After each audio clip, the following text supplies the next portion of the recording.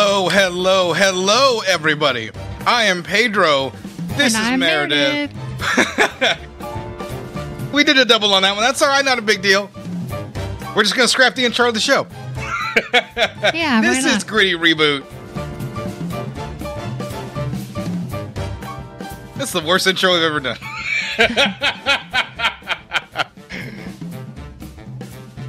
They can't all be winners. They can't all be winners. We stepped on each other's toes. We were both excited to start the show. Yeah. We were just we were just hyped to get into it. Sometimes I can't stop this woman from wanting to podcast.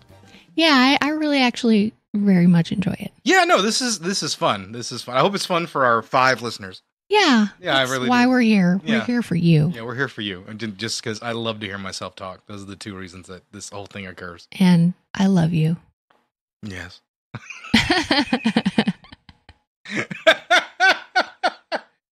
the show is off to a bad start. yeah, well, we're doing something unconventional this week. Yeah, yeah, we are. This week we are actually taking a look at a movie from my childhood, very almost like before I could really start to comprehend movies. We're taking a look at House Party and its reboot. hmm I have a very limited history with House Party. I was aware of House Party, but it came out in 1990, and I was a little too young at the time to want to watch like an R-rated comedy. So, or an R-rated comedy like that, I guess, because I wouldn't have understood like kind of what was going on quite at that age. Yeah. You know, because I'd have been like probably when it came out, I'd have been six, so maybe seven when it got to video. You know, same age as Maya. You know, like can you imagine her checking out like an R-rated comedy today and No. getting any kind of value out of it? Yeah. So I just kind of missed it and, and and never really checked it out. It took me probably like another eight years, you know, probably like ninety nine or something like that, when I finally had an opportunity to sit down and watch the first three movies. And it was just sort of something that we did one day. And I think an edgy teen in 1999 that also probably wasn't the best headspace to watch House Party. So I, I didn't really care for it then, and luckily I, I did care a lot more this time. What, what, what, do you- what do you remember as House Party? I'm trying to think when I saw it. I was I was young. I was probably a preteen. And uh, I just saw it, ca- caught it on TV. And uh, I didn't think much of it. I liked the one thing I did like was all the dancing. Yeah, yeah, you know. But other than that, that's my recollection of the movie. So it'd been years since I'd seen it. And so this was a real interesting retrospective. yeah. Sometimes it's nice to catch up on it. Also, sometimes it's nice to see an older movie like this. That's a time capsule, Yeah. and that's a really nice thing you can sort of get exposed to. I think earlier in the week we'd watched The Crush, and that movie is such a time capsule of like 1992. You know, very early Yeah. 90s, and and this movie is a time capsule of late 80s, early 90s black culture, which I think is is really fascinating to take a look take a look at again. Yeah, it came out in 1990. So, Yeah, so it would have been made in 89. and it has some of the best music. Like, I just love this era. So I have one other thing to mention about House Party, and it's about House Party 2 before we get into it, is I think one of the reasons I was not interested in the series is I had the VHS tape, the valued VHS tape of Teenage Mutant Ninja Turtles 2, The Secret of the Ooze, something I was a lot more akin to watching at the time. And in front of that movie, the only trailer was House Party 2. And it was such a terrible, lousy trailer that made that movie look lame. It's probably why I never ever sought the movies out until somebody said, "Hey, let's shotgun all three of these." Yeah, I haven't seen the sequels. And yeah, so I ha- I have seen the sequels. I mean, it's just diminishing returns. That's yeah, that's what I it. figured. It's diminishing. Yeah, it's the same sort of gag. It's just it doesn't. It's not quite as good in the second one, and the third one's just pretty lousy. I think, didn't we like go over the movie thumbnails of those movies? Yeah, And one of them looked really bad. yeah. We watched like the trailer. I think for part four. Yeah. Yeah, which is like a direct to video, straight to. Oof. Yeah, I think probably I I just straight to cable kind of exactly what it looks like mid aughts straight to cable flick, and even for that, it, it didn't look very impressive. If my pops finds out I got in trouble, The golden age of hip hop. be. Can't see, but I'm grooving. I'm a grooving. Uh, there's a party tonight at Peter's house. Can I go? You're not going nowhere. Every little step you take will be around this bedroom tonight. Did you hear anything about a party tonight? Uh-uh. At least not any good ones. Hello, Tawatha. Do I feel like being bothered with Tawatha? Hello? Tawatha. Gotta love that name. So that's right. In 1990, AJ Johnson, Tisha Campbell, Brian B-Fine George, Lucien Bowlegged Lou George, Paul Anthony George, Martin Lawrence, Christopher Play Martin, Robin Harris, and of course, Christopher Kid Reid. That's House Party 1990, and it's great cast. Yeah.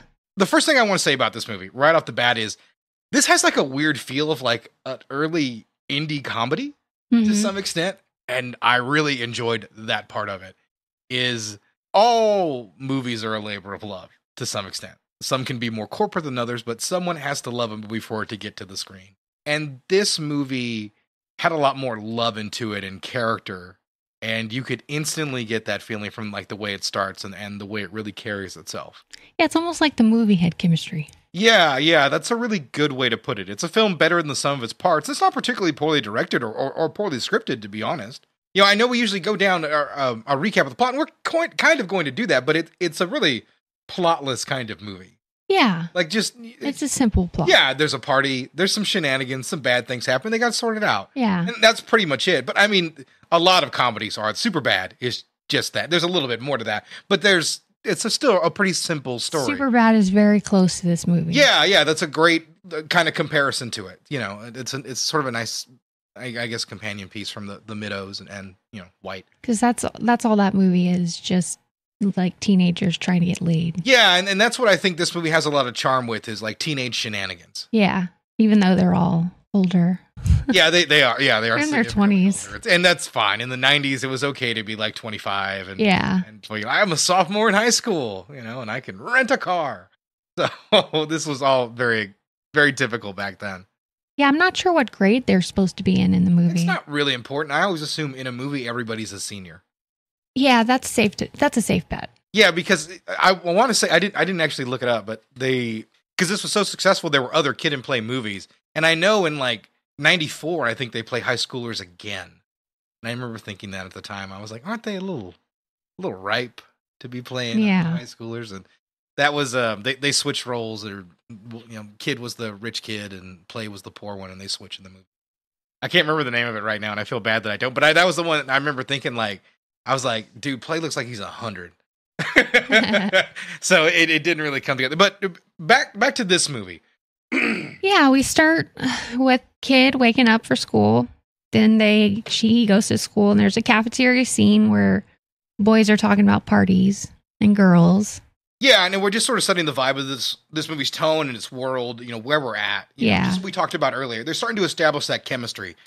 Um, obviously, there's a lot of early '90s things that are you know cringy and and you know, really laughable today. You know, a lot of the slang and stuff like that. But that's how it's always going to be in movies like this. And to me, I I think it just adds to its charm. And that's from coming from somebody once again with with no real nostalgia to it. But this does lead us into uh, a, a pretty goofy fight scene. Yeah, a kid gets bullied by these three bullies. And I believe the bullies are Stab Pee Wee and Zilla. Yeah. Yeah, stab Pee Wee and Zilla. Yeah. They um, what what do you think of these three? Um bumbling idiots. Yeah, I, I think they do a great Three Stooges routine. Yeah. Like it's almost a little too cartoonish at times, Mm-hmm. but I, I don't think that really hurts the Especially tone. the guy that talks like this. yeah, yeah, like that's a little much, just a Yeah. little bit. I can't stress it. Just They over the to do that in a remake too. and they do, they do. There's, a, there's an homage to it. There's an homage to it. It kind of works here. I, I think they deliver more laughs than groans, and that's I think a, a more than a, a more than worthy compliment to sort of give these three actors and the Yeah. performance that they give. Is there's there's a lot more moments where I was kind of like, you know, it, it- you know, just a little or wind exhaling from my nostrils as quickly as possible. I laughed quite a bit through this movie. I did. I, I I was surprised how many times I, I actually really had a legitimate Yeah. laugh, not just like I kind of smiled or giggled because you know sometimes I watch a lot of comedy and I just kind of hmm, you know like just a, a slight elation, but there were some legitimate laughs in the film. I think there were some jokes that ha- have really held up, and I. I I, well, I think one of the other things about it, like first of all, the, the fight scene isn't one of those moments. it's it's it's a little cheesy. You know, this movie was filmed at Play's Real Home in LA. I did not know that. You should never film in your home. Yeah. Trust me, for a man who's worked on many crews, never film on in your home. If a film crew knocks on your house and said, "Hey, we would love to use your house to shoot in," you look at them and go, "Fuck off." You don't let them in, all right? You know, you do let them in, but for a price. No, man, they will they'll fuck shit up. I guarantee it. That's okay if they're they pay for the house. Yeah, but that takes time. That takes time. If they pay me what it's worth and ten percent more, we got ourselves a deal. What do you? wh- Who are you? what, what is this? What what what has this podcast become? we're barely into the movie here. We're already. the show's off the rails. Ah, Started with our intro. it it really did. It it really did. So he gets in a fight at school and he gets reprimanded. And the main reason that he is scared is because the school is going to either call his dad or write a letter, which Mhm. is so 90s, right? Like he's Mhm. waiting for the mail to come. Like he's trying to cut it off, like that's a big deal or something like that. I used to do it. Oh, really? Oh yeah, like I I was not a good student. I could give a fuck about school. yeah. I just never was like that. I wasn't until I got to college where I was like, you know, I think I should make good grades. Yeah, that's probably a good idea. That's where you want to do Yeah. it. That's where you want to do it. Yeah. That's what I've been doing. It's worked out pretty well. It was a, a clap of thunder ready. We are recording during an all out thunderstorm right now. That's how much we love you guys. Yeah. Well, we don't have a choice. Yeah, well, we, we got to get the show done no matter what. Yeah. so uh, anyway, we we come back home and we meet Robin Harris, who's just Pop. hmm And now this is one of those things that's sort of tough to describe about an actor and a rough performance, but it's still being amazing. hmm And that's really what this is.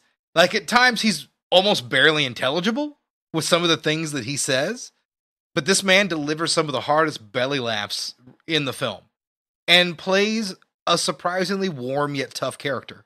He cares about his son. I think that's the, the revelation I had watching the movie as an adult because when I watched it back in 99, he's just an annoying parent, parent character. Yeah, of course. And I, I love that there's a scene where early on in the movie, before we even get to all the shenanigans, when he wakes up, he makes kid breakfast. a and- spread too. Yeah, he gets him all this stuff, and then he goes to tell him something, and he's just passed out in the bed with his shoes on. He was just that exhausted. That was the last thing he had energy to do was to to leave that for his son. To make his son breakfast. And I, I it's a great character touch. It tells you a lot without having to say anything yeah. which is the one of the things I love in a movie. When I can see a scene, I'm like, okay, I already really get this. And that's the thing. Like he cares about his son. You know, as he finds out about the fight, the first thing he does is do what any good dad should do. Like, you ain't going to no goddamn party. You staying your ass at home and doing some studying. Right. That's you got in a fight. Too bad you don't go. I I think that works really well. I was surprised how well that worked. How much I identify with that character. That was very interesting. He's just a single dad, just trying to make it work. Unfortunately, the mo- this movie was released before the death of Robin Harris. He died nine days after the release. Yeah, it, it's it's a real tragedy. I I grew up. I, I well, I didn't. I wouldn't say I love Bebe's Kids, the the movie, but it was on HBO a lot. It was. kids- yeah, because it was a cheap kids movie. It probably cost them like a dollar to air that Yeah. because it was it was a notorious bomb and it's awful. It has an even worse Super Nintendo game. Maybe one day I'll stream it on the Twitch channel. But that was a movie based off his characters. He is not in it because he was dead when they made it. So it has someone else doing a sound alike. So I've always had Robin Harris eh, had a great fondness for him, even though I realized who I had fondness for was just the guy who was the voice in that movie, not necessarily him. You know, isn't that kind of strange? Yeah. It's kind of it's kind of like if you hear JFK talk, like all you can think of is like all the impressions, you know, and all that kind of stuff. Yeah. But JFK doesn't really sound like that. Occasionally he'll get like that Massachusetts accent in his voice. Yeah, that Boston accent. But for the most part, like he just sounds kind of normal, but you just remember the impressions and how Mhm. much they played that up. And that was sort of interesting going back in. that's how I felt about watching him actually perform. Is I, I was realized like, oh, I, I haven't really seen this, even though I'm kind of familiar with it, which is strange, I guess. Yeah. But I, I, I do like everything that he does, you know, and trying to force him to stay home. I, th- I think yeah, it I like the, that. I like that character a lot too. Yeah, he uh he gets grounded. He gets caught by his dad. He gets grounded just a little bit before his kid's about to slip out and go to the party. Um, but he slips out anyways. And then Play goes over to pick up um Martin Lawrence's character, who plays the DJ in this movie. yeah. And I can't think of the name of his character. Bilal? Bilal. Bilal? Yeah. Yeah. He's the DJ. I, I really love the, sh- like, the sort of like a Tetris kind of joke, them trying to get everything in the car, Yeah. scratching the shit out of the amp. Because I love that, you know, having to move big, expensive equipment. Sometimes people just like, yeah, just get in. They're like, no, that's thousands of dollars. Don't touch that. Yeah. I, I really like that. I thought that was pretty funny. and I like how he he gets left behind. Well, Martin Lawrence is he's pretty good. Yeah, he he he is still. He's pretty charismatic. Yeah, you can see that where he's going to go in his career. Yeah. some of that's here in this movie. He's good. He's very good, and he certainly helps a lot of the a lot of the comedy get across. I didn't think the acting was too good in this movie. No. Some were better than others, Yeah, but mm, that's a note of mine. well, I think you know why Kid's the lead. Yeah. Yeah, because I, I, you know, I mean, plays fine, and that's it. He's just fine. You know, there's a lot of times he kind of, he's he just he kind of has the only one way he can come at you. That's it. Mhm. He only has one kind of delivery. Uh, He would get better as you know he made more movies. You know, and th- these guys got to make a few more because this was a big hit, a big hit. But you know, in this one, he, he's a little limited, so that's why they give Kid, I think, the, the more interesting and challenging role. Yeah.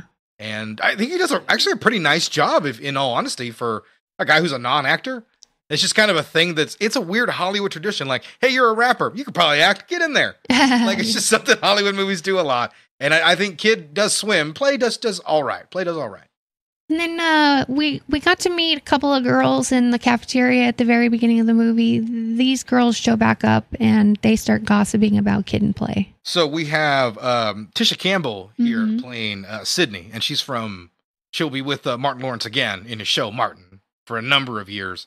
Um, did you ever watch? You, you ever watch Martin? No, You didn't watch Martin? no, Figures you. You're I'm white. white. yeah, I didn't know if you just caught it. You know, because you know, as I have white parents. it's, it's it's very it's very true. No, we we watched we watched Martin, and I've I've caught it all throughout the reruns and stuff like that. So I'm fairly familiar. with It's one of those sitcoms that I have a fond memory of, but I haven't seen it in like probably like 20 years. Yeah. Maybe the last time I saw an episode when it was just on TV because it was at least dependable entertainment I could find on BET or something like that. So Kid is out walking. He's trying to get to the. So he he sneaks out. Yeah, he sneaks yeah, out. he to sneaks get to the out. party. They have the great shot of him going out of the house and sneaking out the door, and like the second he shuts the door, Pop's eyes like or jolt open. I love that. Every dad just kind of knows, but yeah, he is walking down the street, and we get introduced to really what are really the only white characters in the movie Yeah. uh, the cops. And all they do is they just hassle characters early on. They the cops kind of bounce in and out of this movie as sort of the antagonists. Besides the bullies. I mean the bullies are the antagonists, but also the, the cops are I guess the cops are the real antagonists you think about it. Yeah. the Cops stop Kid as he's walking to the party. And they give him a lot of grief. Yeah, they do. They do. I I always find it interesting that like so this movie was made in 1990, a very yeah. long time ago. we still have that problem. Yeah, it's it's still a very typical thing that that we deal with police. and The, that situation's only gotten worse.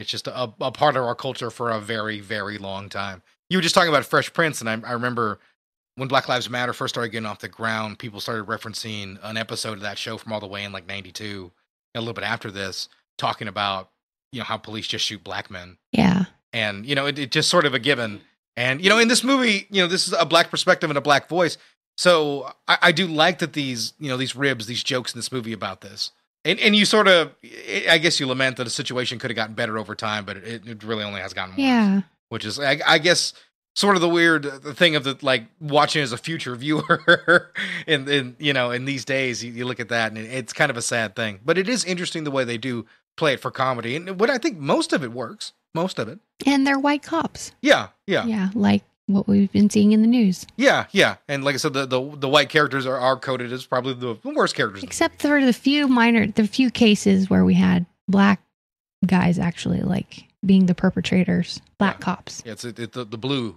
The blue is the problem. Yeah. That's the most political thing I said on the show. Fuck the police. So Okay. So we have that whole scene. And then they run into the, he runs into the bullies. yeah, He ends up at an old folks party. he does- a I wouldn't call it an, an old folks party. You make it sound like you walked into a nursing home. I was like, hey oh, and there's like a walker comes out. Well, they're older. they are. They yes. They, he brought into what I'd say an adult party. Yeah. Well, no, that makes it sound like it's seedy. An adult party. No, but it's um sort of like a ball, a gala, maybe. No, it's not a gala. It's a ball. No, it's not a ball. It's not a ball. What is it? What the hell is this thing? It's a soiree. a sw- Are you sure it's not a box social? No. so kid crashes the soiree along with the bullies, and they end up making a, a musical number out of it. Which this, by the way, this is a musical. Yeah. Weirdly enough, it kind of is. So, and I think the numbers are all pretty well done. I think Mhm. this is good, harmless fun. It's a little cheesy, but like I said, harmless fun. I generally had a smile on my face throughout this number.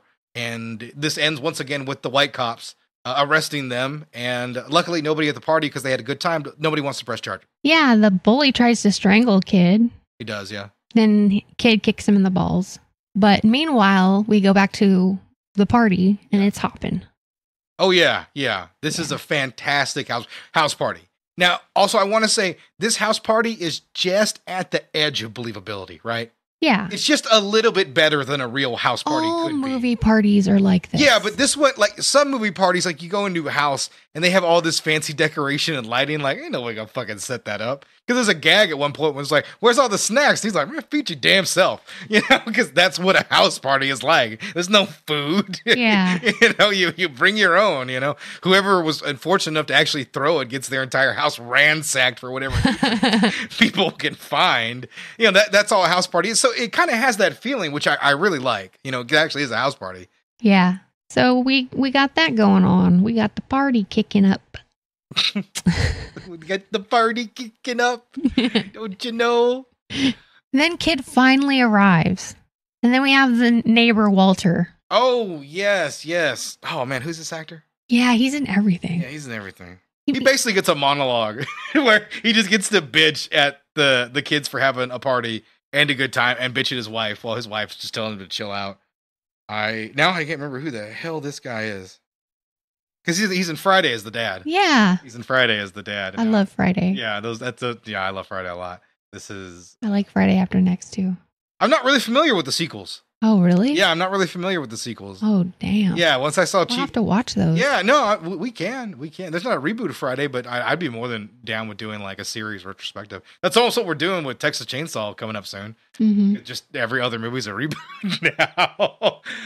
So this movie truly is a musical. Mhm. It has musical numbers and they're singing while they're doing it. yeah, So this is technically and yeah, no one perceives that as strange or weird, no. and that's that's okay. There's a lot of other movies made with rappers of the time that would have these kind of musical interludes, so that's not uh, that's not atypical. Kid gets arrested. Yeah, there is um, he had that little fight, and he gets trapped in a Yeah. fridge. Yeah. which is deadly, by the way. But he's trapped there by the, the bullies, and of course the cops come in, and the cops, um, you know, they muck everything up and they, they throw him in jail. And this is, you know, when when the house party has, has come to it was come to an end for Kid. You know, he gets stuck in jail. We have a really nice. I think it's a good sequence, but it is playing, you know, prison rape for joke for laughs, basically, Yeah. which is something that's a little taboo today. Something you don't necessarily want to do, but th- this movie is good natured. There's, you know, I mean, obviously it's still a rape joke, so they can't be that good natured. hmm But I, I, I, I was trying to think. I can think of a few good natured rape jokes, but this movie, I guess, is kind of one of them.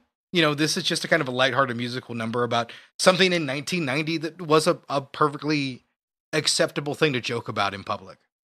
You know, you could make a joke about dropping the soap, and that was perfectly acceptable, perfectly fine. You know, and that's really the only joke the movie has. They don't, you know, you know, they talk. I guess they go a little bit into it in the rap, but you know, that that's all it is. I I, I still think it is, like I said, dated and cringy, but it's in a good natured sort of way. hmm How you feel about it? No, I I thought the movie was pretty good. Hmm. You know, I didn't love it, Yeah. but uh, it had a lot of good moments. I like I said, I liked all the dancing, and I liked the fact that it was a musical in a way. Cause Yeah, and and, but I do do love that music. It's like my favorite genre. It certainly is something I know appeals to you, and it certainly appeals to me a lot more now than it would have any other time I've watched it. So, you know, my head was bobbing throughout the whole movie. But another thing that I like is the, the whole finale of the film is kids in jail, and to save his his poor butthole, all of his friends get together to get him out of jail. Everybody gathers up, hmm and I, I like that. It's a story about friendship at the end of the day, and I, I'm glad that this movie has, like, even a, even if it's small, a journey for those characters to make Yeah. you know, because they had their issues and they came together when it really mattered. And you know, how everybody gets together is good fun. You know, I I, I love everything about how all of that plays out. It's really, I think it, it left me with a smile on my face. And like I said, there were a few good jokes here and there. Yeah. And you know, I just need a little bit of something in a movie to grasp onto to feel. You know, you know, and there was a there was some decent character work here, even if there wasn't good acting. There was always some funny jokes, even if they were dated. There were still a lot of things that I laughed at. You know, this is a solid recommend. You know, I even if it's dated, this is a good comedy. There's no other way to cut it. You know, even if you may not be into the subject matter, you don't know anything about early '90s uh, black culture or anything dance like that, or battles. dance battles or, or rap music. I, I still think you could enjoy this if you were an Amish person and you just started watching movies. You would probably enjoy House Party. Yeah. It's a really well done film. You know, it doesn't get a lot of praise because it's a comedy. Kid and play have a lot of great chemistry. Yeah, once again, you know, you, you don't need great acting necessarily to make for a good film. You know, the Everybody chemistry seems and to have good chemistry. yeah, the chemistry and the charisma really shines through. To, You can I tell that make they for a, a solid flick. You can tell that they spent some good time together. And Yeah, yeah, Enjoyed each other's company. yeah. This was a film, like I said, made with love. You get that kind of vibe, and and being probably a bit of a smaller production, you know, everybody was probably a lot closer and tight knit. I'm, I'm sure they probably had some fun. I'm sure it was rough, but I'm sure there was some fun days on the on this set. Is there anything else that you want to say about this movie? I like the ass whooping scene at the end. Yeah. That that that made that made me laugh because that would that's also the true character journey. Pop has been looking for his son all night. He's been hassled by the police. Yeah, yeah. But I love the way he handles the cops. Like, Mhm. like fuck off. Like he could give a shit about those cops, and I, I really like that. But he, he comes home and he just whips the son. And yes, it is child abuse played for for laughs, but you know, it's kind of like one of those things. Like, Everybody whooped their kids. yeah, that, I that got moment in time. paddled. Yeah. That's how it is. Yeah, he fought in school. He was told to stay home. He Yeah. was grounded, and he snuck out at night. Yeah, that's a paddling. My grandmother made me pick pick my own switch. Yeah, it- it's yeah, it's just it's just how it was, especially in that day and age. Like, yeah, you were gonna get an ass whooping for that because that was that was the only other way you you would get to understand that you did something that wrong. Yeah. So, and I, oddly enough, like I said, as a time capsule, I thought it was a great way to end the movie. And so it is a fun journey for him, and it's you know it makes me laugh. Archie Bunker can make me laugh. Doesn't mean I agree with his politics. Right. You know, it's the same thing. So, once again, I really got solid recommend to this movie. All right, I have a couple of facts here. During the party at Play's house, all the dance sequences were done with no music. AJ Johnson choreographed her and Tisha Campbell's routine for the battle. The toe touch and kick were signature moves of Kid and Play, which is also played in the in the, Yeah, in the reboot, in they the reboot. reference that. So they did their own choreography. What telling me? Yeah. That is amazing to me. Full Force, a hip hop group from Brooklyn, pa- played the bullies in the movie. Yeah, okay, Yeah, that's who that was. interesting. Okay, Some of the cast's real age was much older than, the high school students, obviously. no shit. Yeah, Martin Lawrence was 25, Kid was 26, Play was 28, Robin Harris was only 36, 10 years older than Kid was, who played his son. okay, that's a little wild to think about, but all right. And then last one in 2022, this movie was selected for preservation in the National Film Registry at the Library of Congress, deeming it culturally, historically, and aesthetically significant. Yeah, it is. Uh, it's a classic. Yeah. It should be there. But it- the movie was a, a really big hit. Like I said, we got a franchise of them. Uh, two movies, I think, went to theaters, and then one either straight to video or j- just a, a TV TV movie. But obviously, that led to, of course, the inevitable reboot. So uh, this very year, 2023, we got Kid Cudi, Melvin Gregg, Andrew Santino, DC Young Fly, Karen Obilom, Tosin Cole, and Jacob Latimore in House Party 2003. Come on, get your lazy ass up. Alright, Take two. alright, I'm already. That's what you get staying out partying all night. I'm a promoter. I'm working. I got like 18,000 followers. You know who got followers? Jesus. Take your rude ass to work. You just cursed. What would Jesus say? Jesus would say, shut the fuck up. This is my house. Red Band trailer. See you late as usual. Need to clean this place. I don't got all day. So our characters are a little older here at House Party 23. Yeah, they play It's no longer a teenage just story. guys, Yeah, it's no longer a teenage story. They are just just guys, young guys. Yeah, young guys doing young guy thing, going out, lifting weights, frolicking together. frolicking. That's what men do. They frolic. I'm gonna call my friends and go, let us go frolic together in the fields. you don't do that? Yeah, we do it with our shirts off. That's not weird, is it? No. Great. After the frolicking, we watched House Party 23. Yeah. So, first off, I, I want to say this as we get into the movie. I read a lot of reviews coming into this because I was curious. You know, it looked like a bigger production, and the reviews weren't good. To be perfectly frank, they they weren't great. Uh, uh, one of the, um, I guess, a friend of the show, uh, Tudor Reviews. I did some work on uh, his show, and I edited his house party episode, and he was not thrilled about this movie that much at all.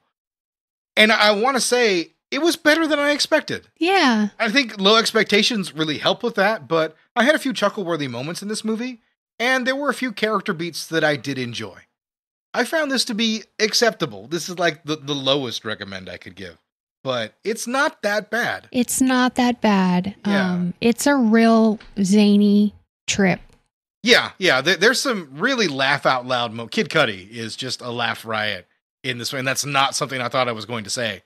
But every Oh, scene with him is zaniest. fantastic. I know we're just kind of jumping around all on this one, but like I just want to mention that like he he really does lead to a lot of laughs because I you know early on we, we get I think the film starts out nicely enough as we get introduced to our characters and our Mhm. situation, everything like that. We get the bullies. Yeah, we, we get very similar characters. Except this time they're trying to shut Damone down for a uh, Come on. Damon, not Damon. Damon. Yeah, he makes a point of saying that. Damon. They are like what, rival like club promoters. Damon is. Yeah, and that's what they the bullies push him out of that. Basically, the the place he was going to be able to throw a party and everything like that. So he's shit out of luck. hmm Which is what sets up the entire film because as their cleaners, and by the way, they're awful cleaners. I did like that joke. They're like, "Who you guys are idiots? We have you on camera," and they cut to a bunch of shots Of them smoking weed. of Damon and Kevin just smoking weed and dicking around, like just fucking shit up for no reason. just general mayhem.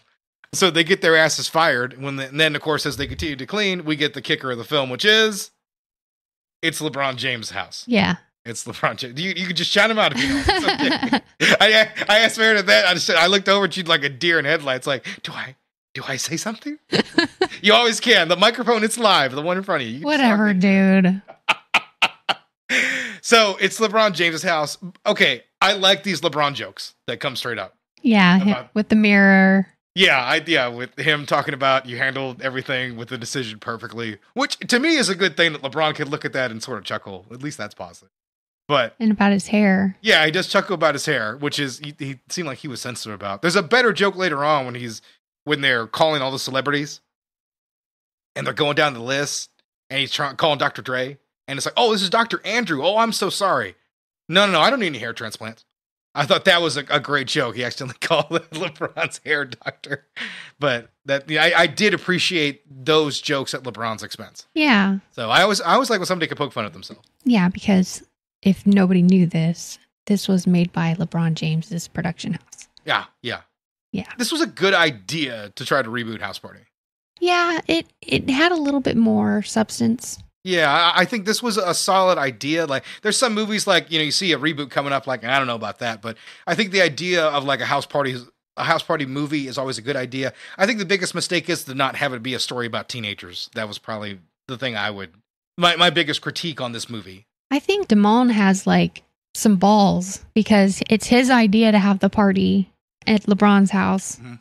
And it's his idea to call all the people on his list to come to the party. Yeah, yeah. There's a nice scene of him calling and reaching out to celebrities, and of course, he does reach out to Mya. Yeah. 90s songstress uh, herself. Yeah. I'll splice in a little music here. But yeah, he does send her a, a tenderly worded email because she's from the 90s. So he loves her. Yeah. I love that whole joke because I, I'm a, I'm also a big Mya fan. Yeah. Yeah. yeah. It's, it's great when she does show up in the movie because you almost forget about it when she Mhm. just kind of walks in because you have the movie's other reoccurring character who's not as pretty as Mya, and that's the koala. Yeah. This fucking koala. You get the way it's written is fine. It's actually pretty good because they just talk about the koala. You see it like run by, but you don't see it clearly, right? hmm And so they build up the mystique of the koala. You know, there's you know a whole sort of bit about it. Yeah, because the neighbor has a pet koala. Yeah, the, the neighbor who comes by, he's the whitest man on earth, right? Yeah. And so I was going to talk about this, the history of like the the lame white person in a black movie, right? Yeah. This is one of my favorite tropes in in um, in cinema. Any element of black cinema you'll find is there's always either a, a really really lame white guy in there who just wants to be with the hip black guys. hmm And this movie does the, this, the movie does the joke pretty well. In all honesty, it's not my favorite interpretation of it, but I did sort of chuckle at this guy's performance. And also, I would really want to meet LeBron James too if he was my neighbor. And I'm pretty sure if I was LeBron, I would do everything in my power to avoid that man. Yeah. I bet he does. Yeah, yeah. So I, I did like that. I did like that. But he has this koala, And it's not till like midway through the movie that we see the koala as it attacks the bullies, right? And it saves Damon. hmm And it's great because it is like the world's cheapest like puppet. And I mean like it's like almost like a puppet you put your hand in. Yeah. It's like the quality of this thing. And it's a you, when you see it you can't help but laugh. And then my favorite bit is Damon tries to like, "Wow, I I underestimated you. I'm sorry I made fun of you. You you really came in and saved me." And it immediately mauls him. and that like I said, there are a few really nice gags in this movie, and I, I thought that was one of them. I appreciated the charm of how cheap the goddamn koala bear looked. I, I really did. And you see it smoking weed later. So I mean, like it, it is. they really get a lot of mileage out of that cheap ass koala bear costume. Well, with, koala bear. with prop. some of the the better jokes come some of the lamer jokes. yeah, yeah. This movie also balances everything out with some pretty bad jokes. Um, I mean, there's a long stretch in the first act where there's nothing funny happening. They're just sort of setting up the plot. So I think you talked about like some of the lamer elements of the movie, and I thought something that was really lame is in one of the cameos we have Tinashe. She comes out and as she's part of this movie's dance battle, which is, isn't bad by the way. yeah, It's a different kind of dance battle, but I, you know, it's it's it's not as as interesting as the original films, but it, it's still here and it's fairly well done. And I guess the thing that I found the most interesting about it is that she offers what Venus just from that one dance battle, like an opportunity to be a backup dancer. yeah, Like we just kind of rush like a storyline for Venus, like through as quick as possible. Like I think that's a real lame aspect of it. Like that doesn't really work at all. She's like, I'm gonna give up my career to be a dancer. Like it was kind of, it was kind of rushed, huh? I thought the the girlfriend of Kevin was Yeah. lame. Yeah, yeah, yeah. Yeah, I thought she, the first of all she's like against the whole thing because mm. it's at LeBron's house, Yeah. And then she all of a sudden's fine with it. It's like pick pick which one you are and stick with it. Oh yeah, that was a definite issue in the movie. Yeah. So I thought she was pretty lame as a character. I didn't like her at all. So we do get the kid and play dance tribute where the mm-hmm. They do, yeah, they touch heels. yeah they touch heels. How do you feel about House Party being like a movie in this universe of the reboot? Because they're watching House Party at one point, Yeah, and they openly reference the storyline of the second movie. very meta of them. Yeah, it's it's kind of a strange thing. I don't, it doesn't really add to much. It doesn't lead to a joke or anything. It's just kind of there. I thought it was hard to grasp the era of this movie What do you mean? with some of the older references. Yeah, there was a moment earlier where like there's a big reaction when they're playing like a '90s rap song. Yeah, And I thought I can't remember the song. I don't know if you remember it offhand, but I remember thinking to myself like, why the hell would he get excited about that? That guy's like like 29, 28. You're supposed to be mid 20s in this movie, right? hmm Like, what the hell would he care about a song from the 90s for? And like everybody in the party reacts. It's not a song from the first movie, so it's just an older song. It's just a strange moment, and kind of another odd one in this film, and not in the good way, like the the, the end of the movie with the Illuminati. yeah, Yeah. So do we want to go ahead and talk about Kid Cudi's whole sequence? Yeah, so we get introduced to Kid Cudi early in the movie, and he wants to give LeBron something, and uh, Damone keeps trying to like a song and stuff like that. It's a poem, and I, I love that. And it is indeed a poem. That is his only true gift to LeBron that he does want to impart with him. But Kid Cudi really drives the finale of the film because like the story's a bit of a mess, and so we get the bullies. They break into the party and they find LeBron James trophy room where the the hologram LeBron was, and they steal the Cleveland ring, hmm and they're screwed, except for the fact that Kid Cudi is a member of the Illuminati, and they have copies made of every ring of every championship ever. Convenient. So they, yes, they, they do happen to have one, but it's the Illuminati, so it's fine, right? Like if you invent a portal to do something, I'll be like, well, I guess I can go wherever you want, right? So it, it's kind of the same difference. It's a a magical thing, but I will allow it because the scene is just like it does feel like from a different movie a little bit, but I mean it's just off the wall wild, right? hmm They head down there, they try to sneak through, and it ends up with Damone and Kevin having to do a battle for the death, right? Yeah. and and it is interrupted by Kid Cudi coming and killing all of the guards, right? Yeah. And and he is eventually stabbed, which is of no concern to him because he knows they'll bring him back. Yeah. He's on his what do you say? He's on, he's on his ninth Kid Cudi. or- Something like that. yeah, yeah. This scene is really out of nowhere. It's completely insane, and I loved every minute of it. I did too. I mean, it really made me laugh. I can't stress to you how much I had hard belly laughs during this whole sequence. like I said, didn't expect it. Pleasant surprise. It comes out of nowhere. Yeah, it, it really does. And it comes in and, and leaves just as quickly. Yeah. Because after that, we get like the depressing like wrap up because Damone has to go to jail because he challenges LeBron James, which is how do I put it? I think there's a lot of funny ways to present a regular person playing against LeBron James, and they didn't pick any of those. Yeah. because what they did was he gets to make one three pointer and get to talk a little shit, and then LeBron just scores, you know, 11 points easily. That's it. Yeah. You know, they, they, I was surprised there wasn't another way to mine some comedy out of that. And I mean, LeBron isn't isn't bad when he shows. I know LeBron got ripped for this, but he's fine. I, like I said, I was just a, a little surprised at wasted potential. There's a lot of moments like that of wasted potential, but that's the biggest one that sticks out to me. Why As a regular person playing LeBron James could be really funny. Why did he get ripped for it? Well, I, I think people just didn't appreciate his performance at all, and they thought he was really wooden and stiff and should shouldn't try acting. He was. I mean, yeah, I mean he is wooden, but I don't think he's the most wooden person in the movie. No, but he was. I I I, didn't think he was that bad. In the pantheon of actors on, I mean, of athletes on screen, I didn't think he was that bad. He's been better. Yeah, he was better in Trainwreck. Yeah. He was he wasn't better in in Space Jam. No. But Michael Jordan sucks in Space Jam too. Yeah. Just nobody cares because he's Michael Jordan. And that, and we love the movie because it came out when we were kids. The same way. Well, actually, no. No one's gonna love this new Space Jam because no one's gonna remember it. No. It bombed. I don't even think you can get on HBO Max. It's one of those movies. It did so poorly they just disavowed knowledge of it. So yeah, that's pretty much the end of the movie. But what's nice is is when he gets out, when Damon gets out of of jail, Mya's there waiting for Yeah, him. Yeah, she's still waiting for him. So that's pretty cool. Kevin gets a, a really tacked on happy ending. His beats, everybody loves him, even though he had no confidence in him throughout the whole movie. He gets to play him one time, and oh, I, f- I forget what cameo person is interested in him, but it doesn't matter. That that's it, it wrapped up. He basically becomes a star because of that. It's not. Yeah, there was some cameos. There was Odell Beckham who had a funny. Oh my God! Odell Beckham shows up in a in a Looney Tunes moment. He, there's a Asian man who's trying to be like, no, no, I have to keep you safe no matter what. I can't let you get injured. And then they've established that there's a hole in the floor, but the hole is probably like what four inches across. Yeah. The whole movie, and Odell Beckham steps in the hole trying to get in on one of the big dance numbers, and he falls through it like someone cut a hole through the ice in like an old school Looney Tune. Hmm and like that's the scene.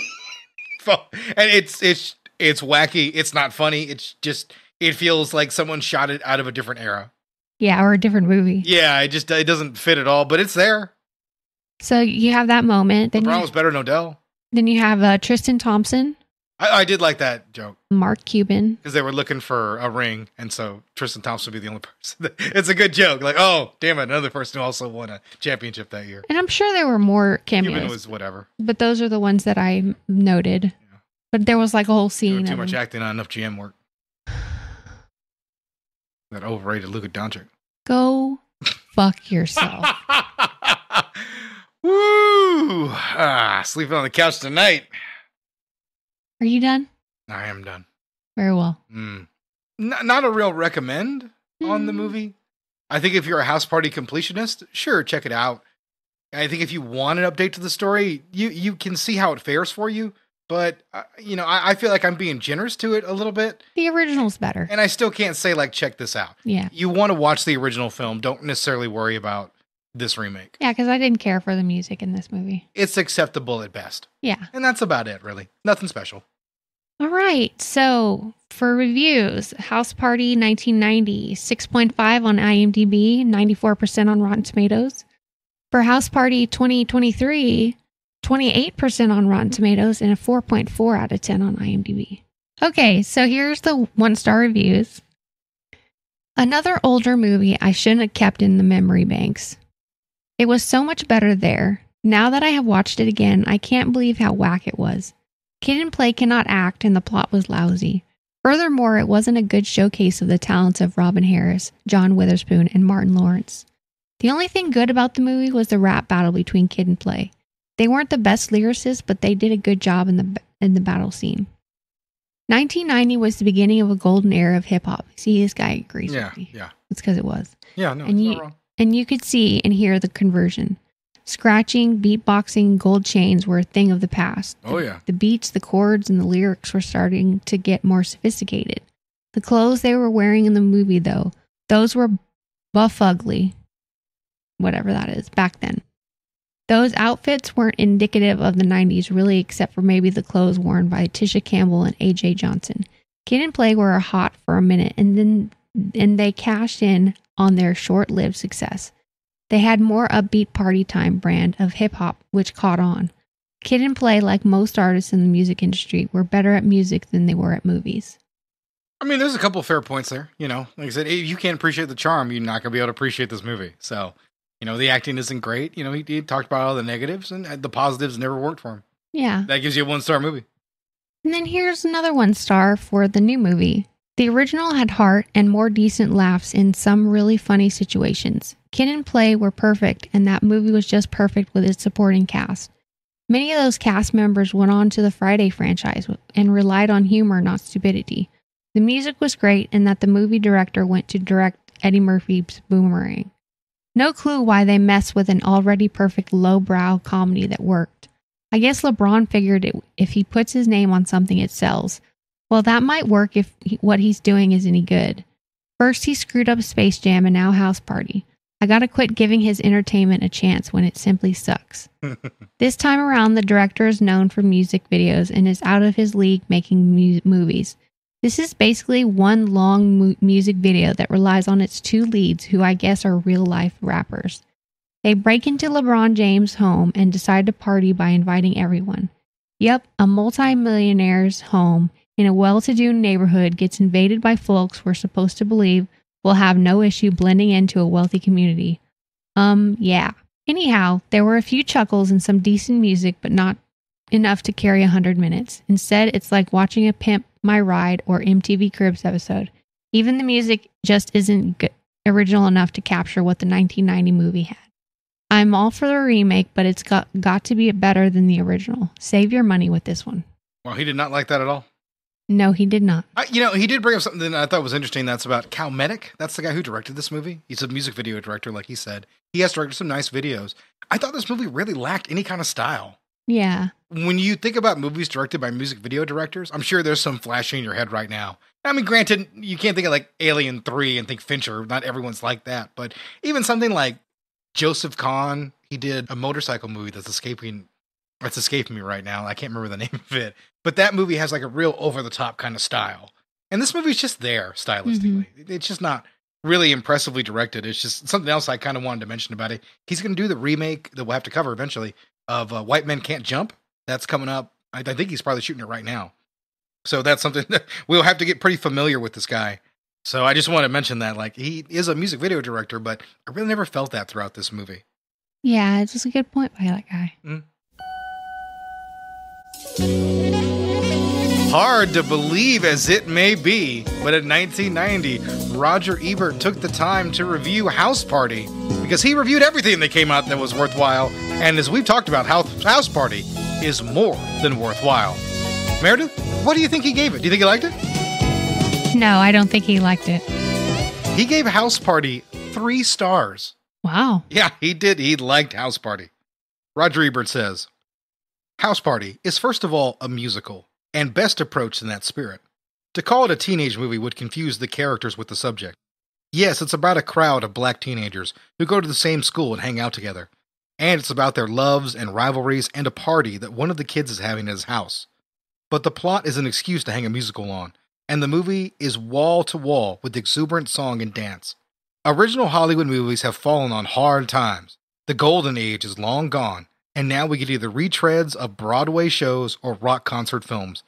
Only occasionally in films like Saturday Night Fever, Dirty Dancing, or even The Little Mermaid do we get a film where the dramatic developments coexist with original and creative soundtrack music. In the case of House Party, the musical is a canvas used by the director, Reginald Hudlin, to show us black teenagers with a freshness and originality that's rare in modern movies.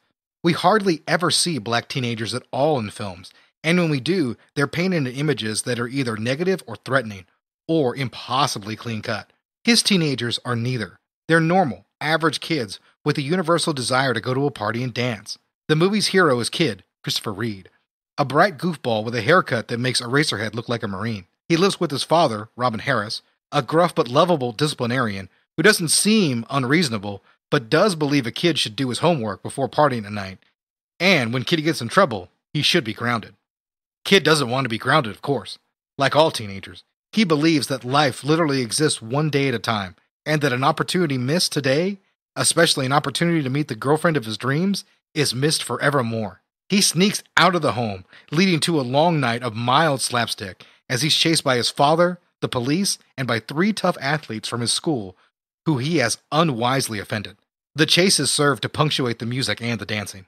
A lot of energy in this movie comes from the natural, unaffected performance of Reid as the teenager who will do anything to get to that dance. He has an engaging, off center rhythm that suggests he plans to think his way through life instead of making a frontal assault. In his encounters with the jocks from his high school, he tries to talk his way out of tight spots. His seduction technique with girls is almost entirely verbal. He'll convince them that they like him. To their credit, the girls, Sydney, Tisha Campbell, and Sharane, AJ Johnson, look at times like they almost believe him. In matters of romance, teenage boys can take themselves so dreadfully seriously, the kid must come off as a pleasant change of pace. House Party is a first feature for writer director Reginald and producer Warrington Hudlin, brothers from East St. Louis, and is based on a shorter film Reginald made while a student at Harvard. Like his older contemporary, Spike Lee, he is a black filmmaker who is concerned with his black characters on their own terms and doesn't feel the need felt by earlier generation of directors to relate his characters and plots to white society. His characters don't represent anything but themselves. And there are moments of refreshing honesty here, as when two teenage boys discuss the disadvantages of dating a girl from a project. One problem her relatives always seem to be hanging around watching TV. There is a certain deadening way in which some critics have taken to evaluating recent films about blacks, in which recent points are given for positive imagery enforcement, useful themes, and the promotion of middle class values. To describe a House Party in those terms would be unfair and would miss the whole point of the movie's energy and exuberance. It was refreshing for a change to see a story about young blacks that didn't revolve around societal problems, thriller elements, drugs, or any other form of seriousness. House Party is a silly, high spirited, and not particularly significant, and that is just as it should be. Ebert really liked this movie. Yeah, it sounds like reason. it. Yeah. I agree with Ebert. I, maybe not as strongly as Ebert does, but I, I certainly agree. Mary, do you have any other final thoughts on the movies? No. No? Well, I, you know, if, if, you know, I was pleasantly surprised. Mhm. That's the way I'll, I'll take a look at it. This, I, I was kind of dreading having to do the other house party, especially after, you know, the reviews I read and even listening to Tudor's show. I was impressed a little bit by that movie that it wasn't just god awful, god awful garbage. Yeah. So I, I guess there is that. The, the little positive takeaway uh, this week. And if you think I'm crazy for taking positive away from a film that's universally reviled, you can uh, let me know that in the most 90s way possible. And that's to email us at grittyrebootcast at gmail.com. And that you can send us anything you like and, you know, send us a question, a recommendation for a movie, whatever you want. And, you know, we'll read it on air. Then, of course, you can also get a hold of us, uh, Gritty Reboot at TikTok and at Instagram. Uh, that's the easiest and quickest way to get a hold of us. You know, we, we post there, mm, you know, mostly daily, mm, sometimes not as much, but you know, we- we're always pretty active there. So you can you can always find a way to get a hold of us and talk to us about anything you know you want to about the show. Give us feedback or whatever. You know, rate us five stars, please. Yeah. Like, subscribe, all that jazz. yeah, Please do that because it helps our show. yeah, yeah. We're just we're just two people out here just trying to have a good time podcast. We hope you enjoy it. So it's all you know. Just wander over there, give us five stars if you like it. If you think we suck and give us one star, please just unsubscribe. we we can't afford that one star hit. We can't. All right, we appreciate you listening this far. That's the end of the show. All right, guys, have a good one. Bye.